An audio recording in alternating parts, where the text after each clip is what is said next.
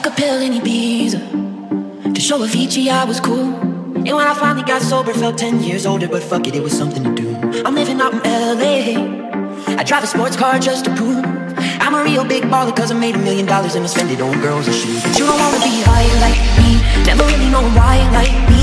You don't ever wanna step off that roller coaster And be all alone. And you don't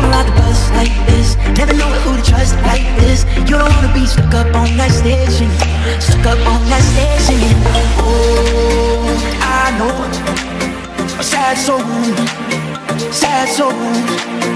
Darling, all I know are sad soul, sad soul.